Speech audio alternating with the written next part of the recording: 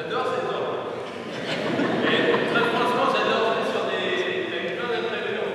C'est toujours un... Euh, c'est toujours un peu plus amusant.